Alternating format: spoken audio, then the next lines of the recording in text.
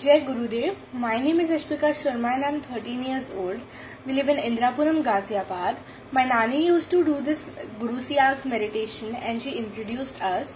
Since I started doing the meditation, I felt some experiences and I want to share them.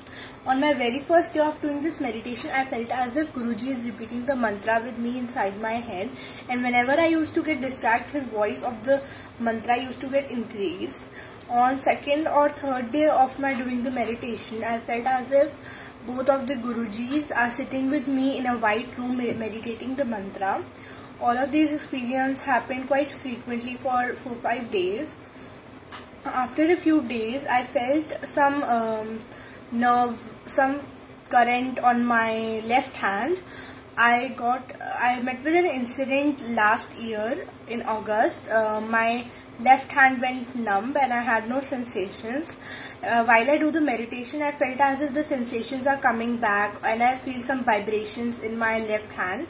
And um, whenever I uh, open up uh, from the meditation, I feel a lot better in my hand and as if the sensations are coming back. These are my experience with Guruji. Jai Gurudev.